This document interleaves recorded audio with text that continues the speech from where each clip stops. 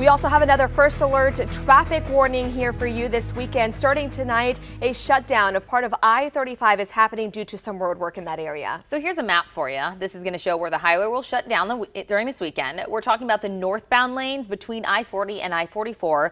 ODOT does recommend that people use this detour, I-235 north to I-44.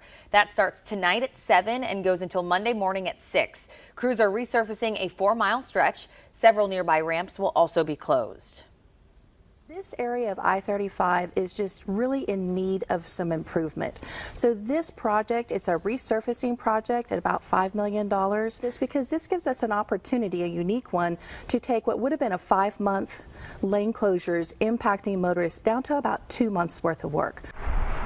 So you'll remember crews shut down the southbound lanes a few weekends ago, and that's set to open back up at 6 a.m. on Monday or even earlier if construction goes well. If you have to drive that area today, though, before they shut down I-35, you can also expect lanes to be narrowed as crews just get prepared for all of this work.